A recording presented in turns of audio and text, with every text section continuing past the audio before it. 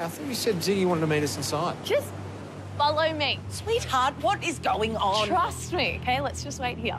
I really don't have that much time to muck around, okay? Marilyn, this is starting to get a bit weird. Now, just bear with me. All will be revealed in good time. Hi. Hey. Hi. Hi. Um, here we are. Brody Morgan. We need to talk. what are you doing? Something important, so listen up. I'm not usually one for grand gestures, but there is always a first time.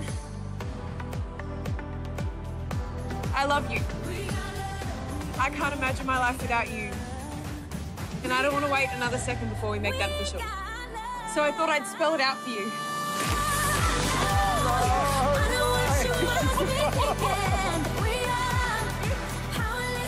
Well, Yes! yes, absolutely!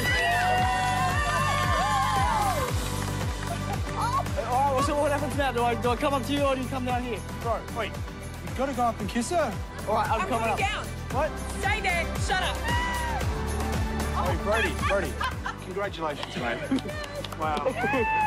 Did you guys know about this? No idea. Are you okay with it? Are you kidding? Congratulations. Oh.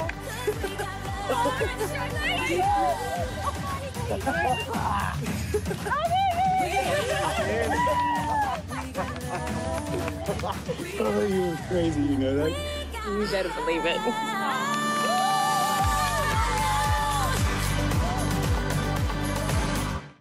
What exactly are we doing? Mason told me to meet him on the beach. I bet he wants to have a go at me about Brody, so he wants you there for moral support. Surely he hasn't given Mace my stuff. I mean, that's a bit soon. Just give me a couple of days to get through everything before I have to go through the breakup checklist.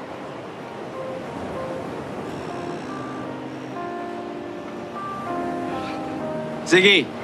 Am I ready for love? Or maybe just a best friend? Should there be a difference? Do you have instructions?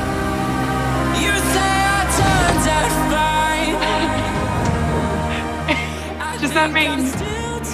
Let's get married. If you still want it. Of course I do, but what made you change your mind? I just got hung up on timing. But you're right, none of it matters.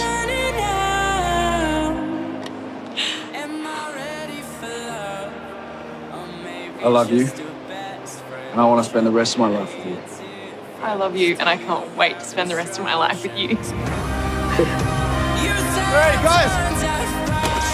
Let's celebrate!